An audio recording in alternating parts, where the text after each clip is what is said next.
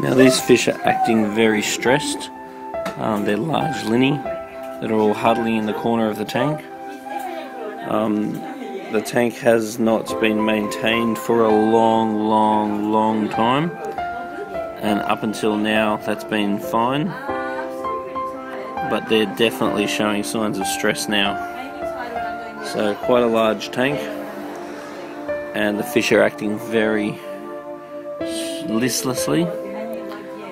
So, what he's going to have to do is a nice big water change, um, dose it up with Easy Life, clean the filters, and just do all those basic things that really should be done more often.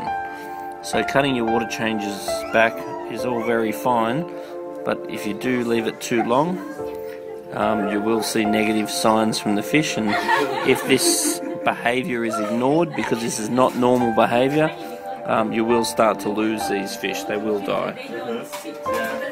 And this is clearly erratic behavior because these fish are normally swimming around everywhere.